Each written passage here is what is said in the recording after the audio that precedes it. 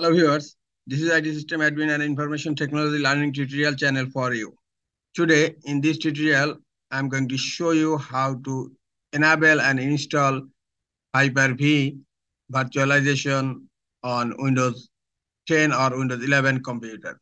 Sometimes it becomes very important for you, so don't forget to watch full video. First of all, to enable and install Hyper-V on Windows 10 or Windows 11 computer, you need to ensure that your virtualization technology is enabled from the firmware setting. To enable hypervisor feature, open PowerShell. insert type PowerShell. Right click on Windows PowerShell and click on Run as administrator. PowerShell has been opened. Now in PowerShell type this command. I will give you this command on video description.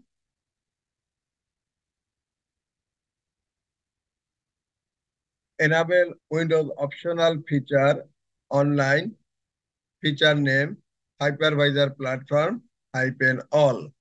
Then hit enter. Okay. Now hypervisor feature is online and restart needed false. That means no need to restart your computer. Now close Windows PowerShell. And then in search type turn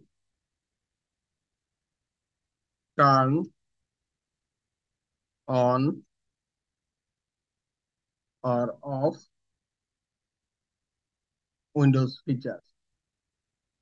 Turn on or off Windows features. And now click on turn Windows feature on or off. Now you will find an option here, Hyper-V, expand and under Hyper-V, you will find two options. One is Hyper-V management tool and another one is Hyper-V platform. Both are important. So click on Hyper-V, select Hyper-V, and now click on OK. Now Hyper-V is installing on my Windows 10 computer.